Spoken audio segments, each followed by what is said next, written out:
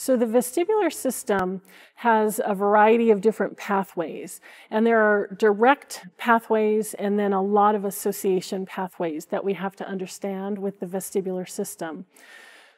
We start again with that level of the receptor. We have those partner receptors that carry information in a comparative way into the uh, brainstem complex that houses these vestibular nuclei. So the cranial, the eighth cranial nerve will carry that information from the left and right sides and then carry it into the vestibular nuclei.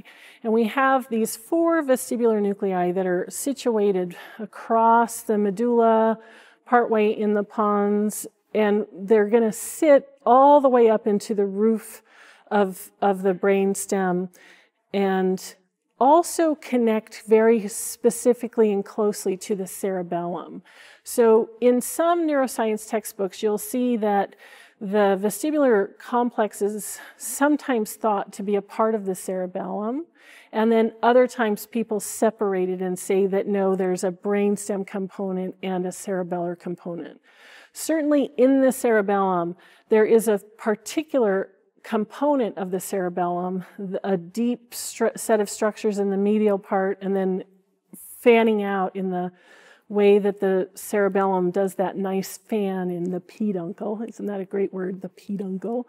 And it fans out. So in that, there's something called the flocculonodular node, and that is uh, a very specific vestibular cortex that sits in there. Um, and so we have this relationship, this really inti intimate relationship between the vestibular system and the cerebellum. If we think about the cerebellum, its primary job is to help create smoothness in our production. So in the production of our action, uh, and that so that would be everything from our gait to the precision of our fine motor control to the fluidity with which we can use our oral motor structure. So it's this fine tuning system that smooths out, but it also smooths out all of our social, emotional, and cognitive functions.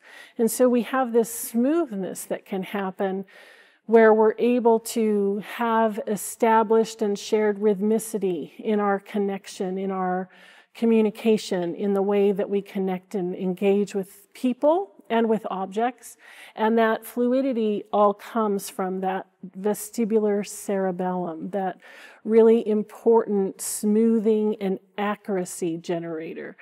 So the vestibular system uses this information about space and about body and about head position and about the, the world coming in around you to tell you about how you can exquisitely be smooth and accurate.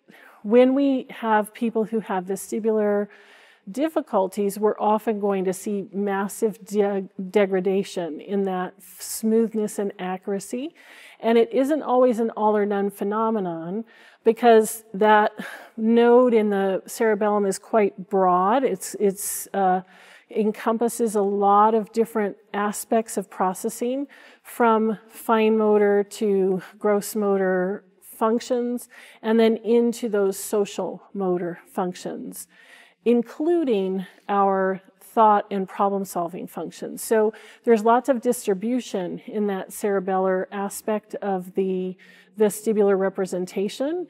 And so you can have relative more difficulty in one aspect of it or the other. In other words, it's not an all or none phenomenon when you have difficulties with that graded smoothing that happens from the cerebellum.